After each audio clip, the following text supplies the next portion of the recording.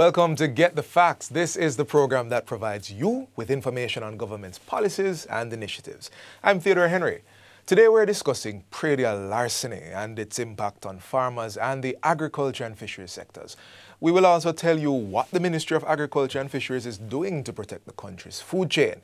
Now, providing that information is head of the Predial Larceny Prevention Unit, Superintendent Oral Pascoe.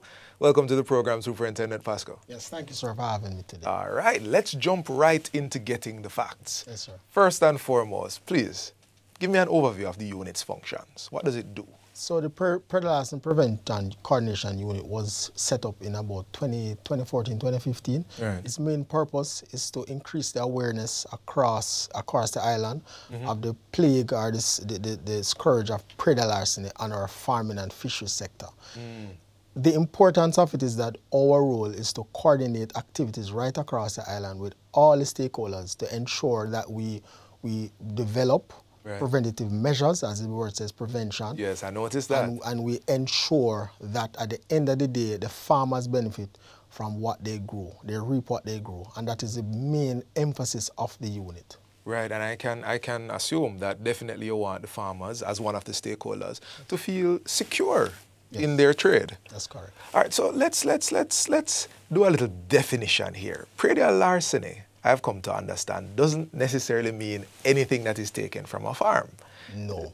That, Help us understand. correct. So predial larceny is one of the offenses under the Larceny Act. Mm -hmm. But actually, agriculture produce theft the Agriculture Produce um, APA, Agriculture Produce Act, right. gives a wider definition of categories of items that are, including fish, oysters, fish, and so forth. Right. So it's a much wider, it's a much wider definition. You can charge someone for predial larceny if they steal stuff from the farm, right. but you can also charge them for larceny of cattle, larceny of goats, and so ah. forth. The larceny is a very wide piece of legislation. Matter of fact, there's about 15 pieces of legislation that actually covers theft or, or, or, or, breaches of the offences under the agriculture produce right across the board. And predial larceny is, is one of them. Is one of, but of course, because predial larceny in definition in the law has to do with agriculture produce, but not necessarily as wide. It's very limited in the act itself. Aye. But the Agriculture Produce Act widens that boundary to include a lot of other, amongst other things. Understood, understood. So we use the word to generally mean we'll that. Use, yeah, we use but, word. But legally, it has a yes. understood. You're correct. Understood. No, you mentioned prevention. I, I, like the fact that prevention is in the name. That means there, there are strategies, there are things that the unit and its stakeholders are doing to protect the sector. Could you tell us about some of the main strategies that um, are the structures that the unit has in place and are working on? Okay, so in terms of strategies and structures, one of the key things we, we, we try to do is to improve awareness among all the key stakeholders. Mm -hmm. So the farmers, for example, the farmers will need to be aware of what the the, the laws are, or they affect them, or they right. can, um, for example, register and or register and how it affects, or we actually do the police itself mm -hmm. and the ministry do our enforcement and compliance of the laws. As right. I said, there are 14 pieces of legislation that affects the farmers and other stakeholders. So it is right. critical that we know what to do. All the stakeholders know. The police know that all the laws are in the books and mm -hmm. they know mm-hmm. what. So, for example, if someone goes on a farm and steals something, there's there's there, there's multiplicity of laws that you can apply versus just applying one and the person might just use a technicality and get off that. Right, and the police need to know that. Need to know that, um, and, and so that's why continuous training is important and sensitization. Mm -hmm. There's even an effort in which currently we're looking at rolling out some sensitization programs across the board. Right. And this, there's one particular sensitization program we're looking at judiciary, we can't train the judges. The judges are all very learned. Right, right. But we can, we can sensitize on the wide spectrum of the applicability of the laws. Ah. And we can look at the police side, not only train the police that are in the units, in the divisions, because some divisions don't have a unit because they're in Kingston or St. Andrew. Right, right. And they're in the, the, the, the urban side, so they wouldn't have a predial larceny unit. However, the responsibility is very wide and encompass um, um, enforcement of the, of the compliance aspects of it. So it's not only when somebody goes and report a crime, there are other aspects of the Agriculture Produce Act that, if breached, for example, is a wide piece of legislation, key legislation, it has to do with the receipt book and so forth. So, okay, we've spoken about enforcement and compliance. You mentioned the legislation yes. framework yes. Uh, generally. I want to talk about traceability as one of the structures. Uh, you mentioned the record book. and So, so, so for traceability, there, there are about three main aspects of traceability as part of the matter of fact, the ministry has a four-pronged strategy generally. And right. I'm going to break it out and then probably, if you if you allow me, go through it individually. Sure, sure. So traceability is at the top, mm -hmm. and then there's enforcement and compliance, right. and then there is um, legal framework, right. or matter of fact, in terms of strengthening the legal framework, are the laws surrounding and the applicability of the laws, updating and right, so forth. as you were discussing, yes. yes. and institutional arrangement, yes. the JAS, RADA, the police, the Ministry of Health, public health inspectors, or all judiciary, everyone work together, work together. to bring, to actually bring some level of um, um, conformity to the system. All right, so so those are those are the pillars, and you had started talking pillars. about it. But could you give us a bit more information about traceability itself? So traceability itself has to do with there are three main elements I would have said earlier. There is a receipt book system, mm -hmm. which is the key and critical one. And yeah, tell us about that. So the receipt book system is that um, in order to get the receipt, uh, a receipt book to, to trade or to sell agriculture produce, which under the Agriculture Produce Act, mm. you will have to be registered with RADA you have to be a registered farmer. So, so the institutional arrangement institutional comes arrangement in here. comes in there, yes. Like how they play together, yes. So you register with RADA, and then once you're a registered farmer, you go on a database with all information, what crops you produce, mm -hmm. and so on and so forth. And of course, you can update it as you go along, and right. it is backed by law. And then now, once you get that, the Jamaica Agriculture Society, mm -hmm. they are the key ones, I think RADA does it too, that issues the receipt book. Now, it is critical, because if you were to sell or receive agriculture produce, even if you're a farmer and you sell the things and you're an eagle and you pay your money and you didn't steal the things, mm -hmm. and you're transporting the goods, or you're caught in possession and you can't show where ah. you got these ah. goods from, you'll be committing an offense. And, so, and the policies we're going after, we're, we're going to be, that's why the compliance part is so important. We're pushing to increase the compliance rate. So let the me take up is very low though. Uh, we're going to talk about that, but let me just jump in here to see if we can get some more of the facts. Enforcement and compliance. The, the police would show up uh, perhaps at a stall. Yes, you see, you see this produce. Yes. I should be able, as the higgler, to say, this is my receipt, yes. right? The farmer should be able to say, this is what I sold, and I have a receipt. Yes. So it, it's about being able to track the produce, animal, fish, um, grown produce, as it goes. Am I getting that right? You are correct.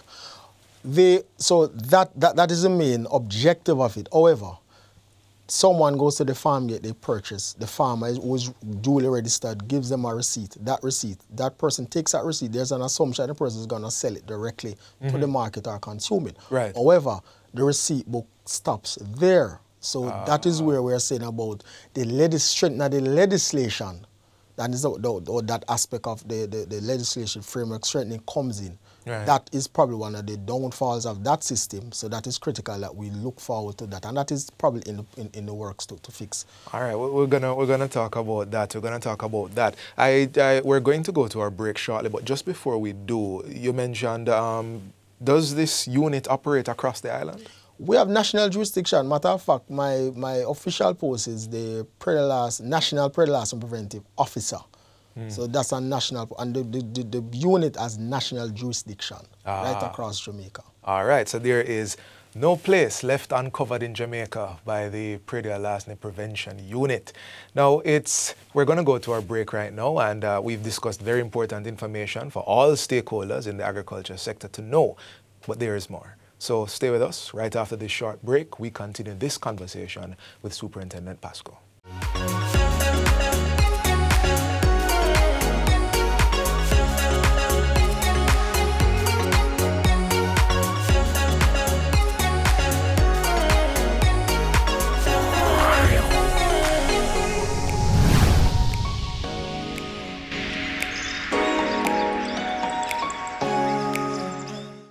What a way you're full of our roots and culture. that was in Jamaica 60. Jamaica 60? What a piece of news, Miss Matty. I feel like my heart going bust up. Just in, the island of Jamaica is on the verge of celebrating its 60th year of independence. A holy way of celebrating it. They say the people them, you know, them come here, you know. But you see, when our people decide, say the other people them free paper, burn up, them say if it's war, start it, whatever. We are collect medal, panta, Collect you know. our medal. Amount we give them, you know. Amount of tongue. The celebrations are slated to begin on January 1st, 2022. Organized by the Ministry of Culture, Gender, Entertainment and Sport. We have more in this report. I am on site and planning activities are ablaze. Persons are advised to download the Reggae Jamaica app to know what it pre. What pre. activities for the Jamaica 60 celebration. I forgot to download the app to get the updates then.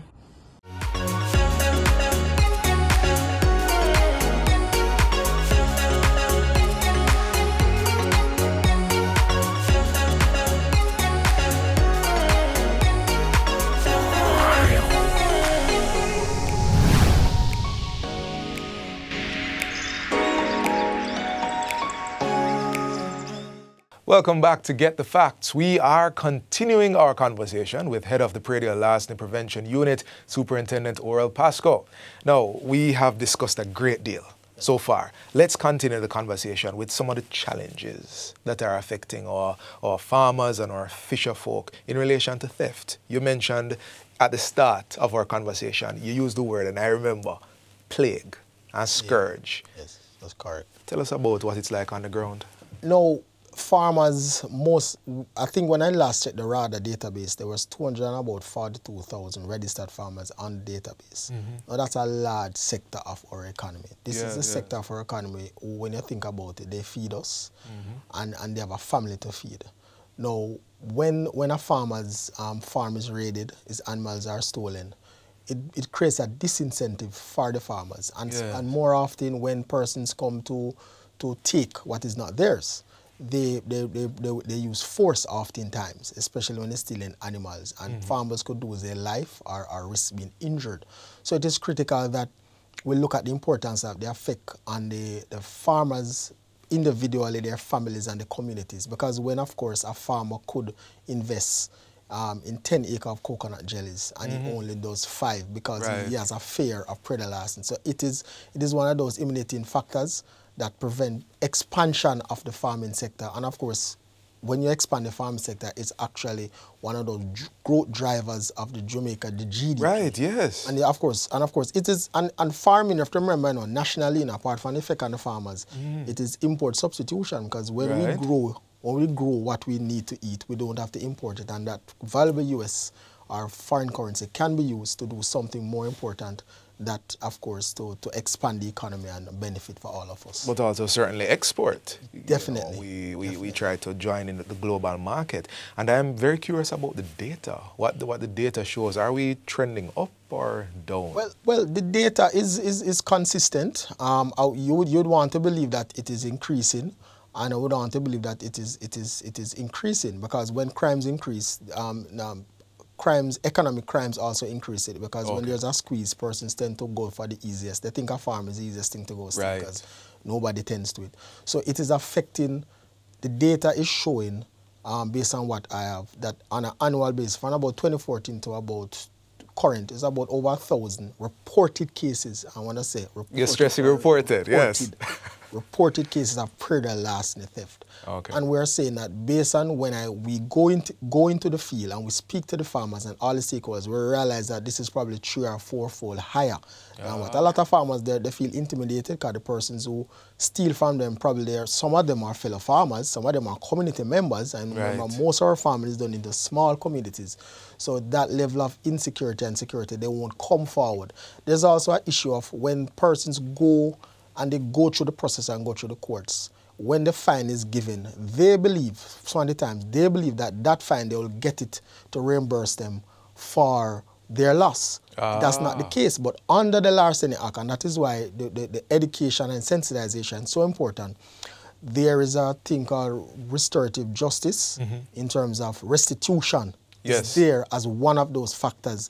We're not seen, being applied enough, and that is why the sensitization across the board is important. That farmers feel like when they, we want to encourage them to report, but when they do report and we go put good case files in, happens? we, Yeah. they get a sense of justice. A matter of fact, if, for example, animal stealing or Yes. large scale stealing, if the if somebody is convicted of it, I think since 2018, 2019, you, you ever heard of Proceeds of Crime Act? Right, right. Once it's agriculture produce, it is applicable. So not only that the person under Larceny Act can can be restored back some level of value, but going forward, the state can can prosecute the person under Proceeds of Crime Act and take away their assets so it is a... For restitution? Not, well, restitution is there in a larceny act, uh -huh. but take away it and put it in our coffers. Ah. So they can take away the house as proceeds of crime because somebody's living a criminal lifestyle, stealing people's stuff, buying cars, yes. living in a nice house. The government, under proceeds of crime, like any other crime, can can seize those assets and liquidate it. You laid out the situation on the ground, and I can just imagine how it is really when you live there and perhaps the person who has raided your farm is a part of the community. You know who they are, they know who you are.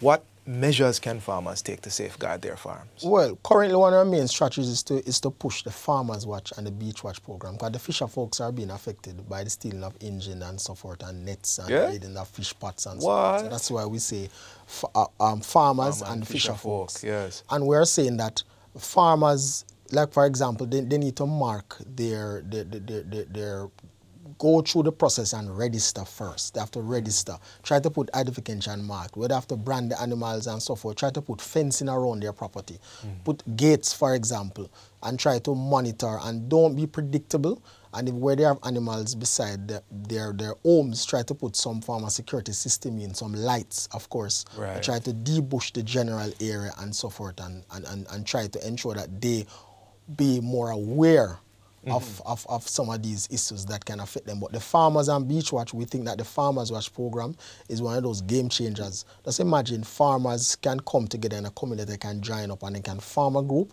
and they can have the WhatsApp group and anything suspicious that's going on. Because most of these thieves, the, the, the, these predator, predator thieves and agriculture produce thieves, they are known. Yes. They're known there and they're very habitual. That's what uh -huh. they ah. know. They steal coconut over and over, they steal produce over and over, and that's, that's what they do for a living. And if you come together, your farmers a group, the issue we're having with the farmers group is that there's the, the, sustainability of these groups are not there. When there's an incident, everybody wants a farmer group to protect themselves. But when when that when get cold and get comfortable again, they, they don't have any interest to go to the meetings. Ah. And that is why we're working on those aspects of the not only farming the groups, but ensure that we have sustainability built in as and then use that mechanism as one of the major mechanisms to help the farmers protect themselves along with putting in personal things around to protect their produce and crops. I'm, I'm happy that you brought in the fisher folk as well because that's an element that we tend not to think about. So you gave us a, a look at what that looks like. Uh, I, I'm, I'm, sure we could ask about, we mentioned the institutional framework, yes, and I know that there's the provision for them to access many of these things or funding for it from these institutions. So the, the opportunity is there, you know. Uh, we're almost out of time. Okay. We're almost out of time, but I want to give you the opportunity to say a final word to our viewers. You are on the ground, you see what's happening. Encourage them, uh, give them some incentive Tell them what you'd like them to hear. So we, we, I'm going to speak to the farmers and, and, and, and, the citizens. Citizens, if you know of, of, of, of where persons are, are trading in um, illicit agriculture produce, call the police. Call the police, tell someone. And of course, farmers, we're asking you to ensure that you register with RADA.